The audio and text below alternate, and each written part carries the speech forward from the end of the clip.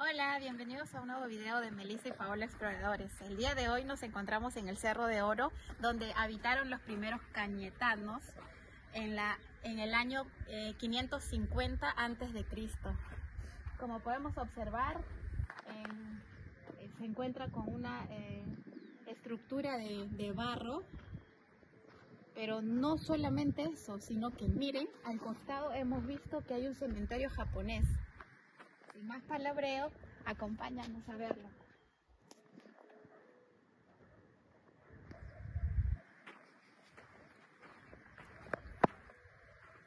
acá no se va a poder subir.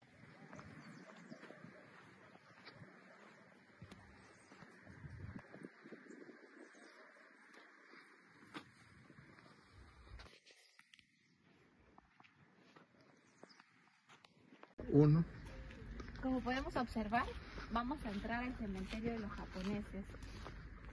Aquí eh, albergan los restos de los primeros migrantes japoneses en el año 1899 a 1999. Fueron los primeros en venir aquí a trabajar en los cañaverales. Y vamos a ver qué tal está esto. Mira, hay un tremendo mausoleo ahí. ¡Wow! Mira. Todas las tumbas están en japonés. Realmente son japoneses todos. Y como ven es un cementerio muy pequeño.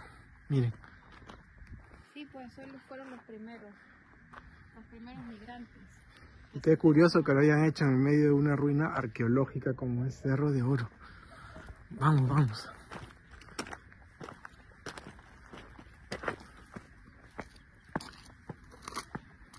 Se parece al cementerio inglés de Tilibiche, en la quebrada de Tilibiche en Chile, donde antes fue peruano. Y como podemos ver, media de la cruz, en el pie, ahí están los nombres. Y como pueden ver, la gente al día de hoy le trae ofrendas, porque estas flores son naturales. Y mira, de una florería conocida. Y aquí muy bien empaquetadas. No estamos hablando de cosas baratas. A ver, miren. Tremendo mausoleo.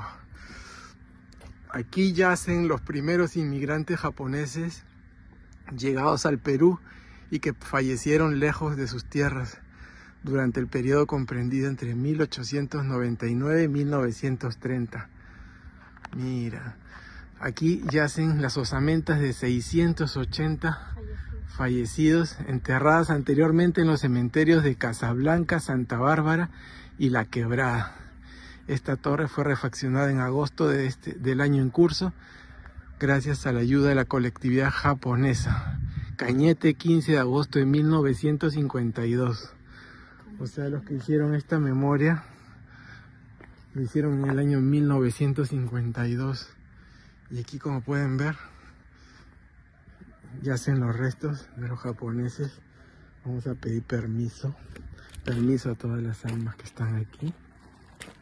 Hay que entrar con mucho respeto.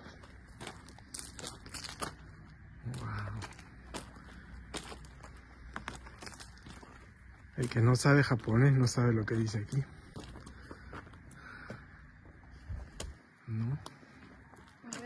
Aquí hay una tumbita que ya se está cayendo. Permiso, permiso. Aquí.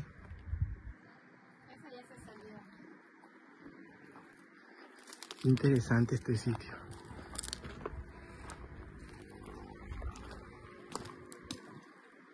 Es pequeño, pero supuestamente han traído 680 japoneses de la hacienda Santa Bárbara, Casablanca que luego vamos a ir a visitar. A ver, mira, acá hay un agujero. Aquí abajo están los 680 cuerpos de los que no se ha podido identificar. Y ahí está incluso una, una placa. Una placa en japonés. Pero ahí por ese huequito apreciamos de que adentro está lleno de huesos en este gran mausoleo, es inmenso. Más o menos para que se ubiquen.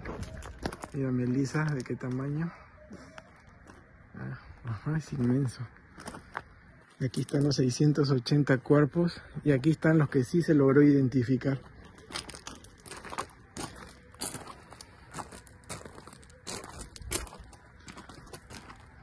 Pero tan abandonado no está porque los han venido a dejar flores a cada uno de ellos, de la comunidad japonesa.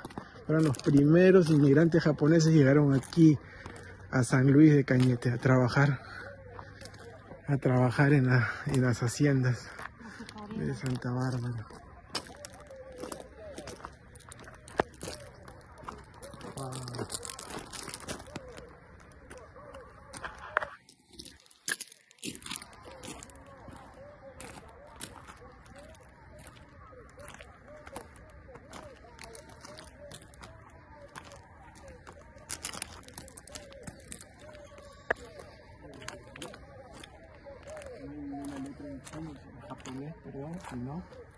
Bueno,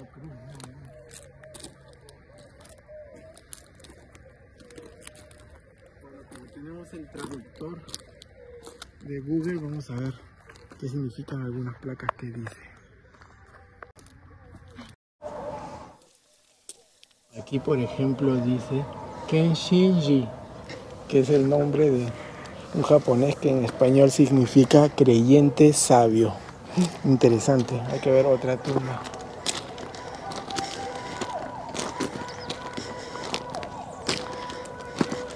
Aquí. A ver.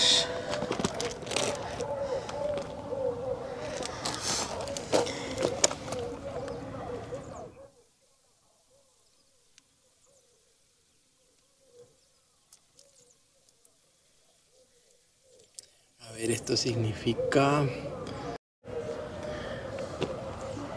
A ver, según mi traductor, esto significa creyente de Xi Liang Bao. Muy bien. Vamos a ver otras. Aquí que dice. A ver, y esta tumbita. Acá dice.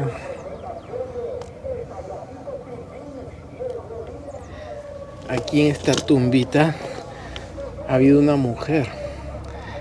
Según la traducción de esto, significa Shi Miao, una mujer devota. Ese es el significado en español, qué interesante. Vamos a seguir viendo las demás tumbitas. Aquí tenemos otra tumbita de un japonés, ex Miyagi no, Nobuki. Miyagi Nobuki. Este parece ha sido el, el bisabuelo de maestro Miyagi de Karate Kid. Interesante. A ver, aquí dice tumba del difunto Okubo Saknusat. Mm, Otro. Vamos a ver traducir esto al español. Es un poquito pesado. A ver. Ese dice que es el difunto Nagaki Arutoki. El difunto Nagaki Harutoki. Ah. Y este es japonés. Daiwaso Kiyohiden Nobu. Vamos más aquí.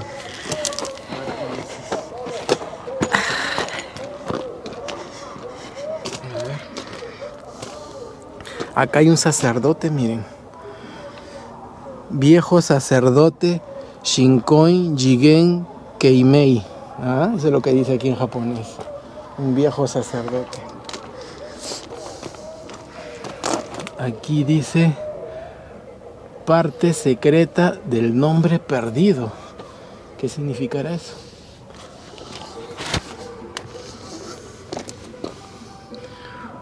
Fumiko Nakamura. Ajá. Estamos aprendiendo japonés. A ver aquí qué dice. según mi traductor, Katsumi Furuyasu. Acá hay una señora, la señora Katsumi.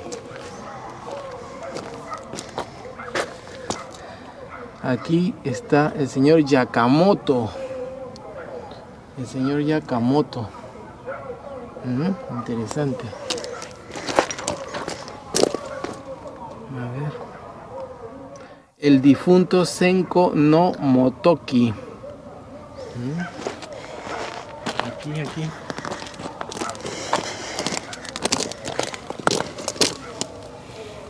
A ver, según nuestro traductor de Google, Shikisan Miyoko Dobo.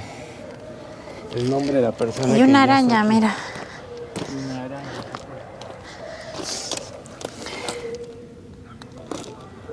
Lo curioso que no, no ponen el año de De muerte. el año de nacimiento ni de muerte, simplemente la traducción que hacemos de esas letras japonesas es la que Los nombres. vamos. Google nos, nos proporciona, pero a ver, acá dice Hirosen Sawa Shinshi. ¿Ah? A ver, aquí dice sepa que es un buen creyente. Eso es lo que dice, sepa que es un buen creyente. No dice nombre ni nada. Aquí creyentes verificados, o sea, Un buen al parecer este, No lo han identificado. como creyente, como cristiano, o sea, eran japoneses conversos porque aquí se han vuelto católicos. Acá, hay, acá hay varias escrituras.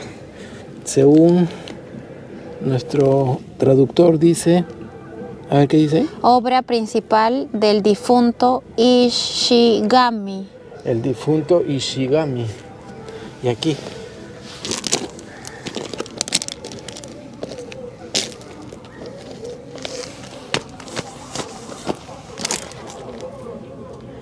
Este se llama Keiko. Keiko. Keiko Mitsubushi. Keiko. Nada que ver con Keiko Fujimori, ¿eh? debe ser. Ah, pero Pero atrás, mira, nos hemos dado cuenta que atrás también tienen. Ah, nos hemos dado cuenta que en la parte de atrás de las tumbas también hay escritura. De repente son las fechas de nacimiento. A ver qué dice acá. A ver. Alto.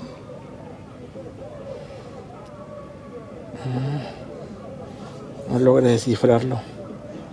No. A ver aquí. Ahí dice, ahí sí dice, el difunto Seishi Fujimoto, debe ser que el 30 de agosto, noveno año de Owa Roat, falleció a los 54 años. Acá dice, falleció a los 54 años en esta línea de aquí. Allá entonces en la parte de atrás están Ahí dice cuándo de nacimiento. Este de aquí se llama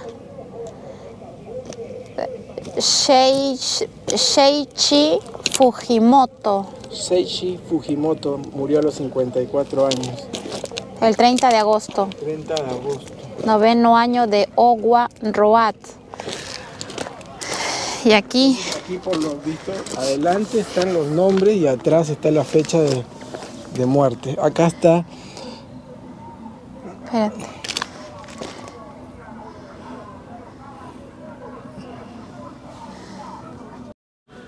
a ver, aquí dice que es del, del sexo femenino Shumiyo Yunshin. Vamos a ver en la parte de atrás la fecha de nacimiento y fecha de muerte. No nos habíamos percatado que en la parte de atrás están esos datos. Dice, tumba del difunto Aoki, excursión de un día en agosto de 1937. Este murió en 1937. Wow. Así está este pequeño cementerio, como ven, con el Hecho por la colonia de Algunas sí no, no tiene más que cruz. Muy interesante esta inducción. Ya está atardeciendo, ya van a ser las 6 de la tarde.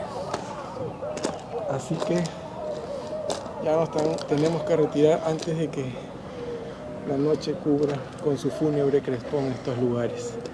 Así que hasta una próxima aventura. Nos vemos.